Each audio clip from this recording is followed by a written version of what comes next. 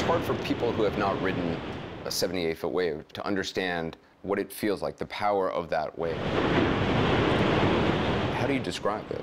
A lot of us have snowboarded or skied. Just imagine going as fast as you go down a mountain, and then imagine hitting some ice, maybe some moguls.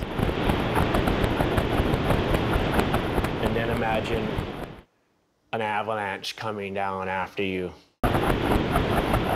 Then imagine not trying to run away from it, trying to stay as close as possible to it the whole time. And have it ch- chasing you. And now the mountain's moving. And not just the avalanche, but the whole mountain is moving. That's what it's like riding these giant waves. It, it sounds terrifying. For the average person, could easily be hell.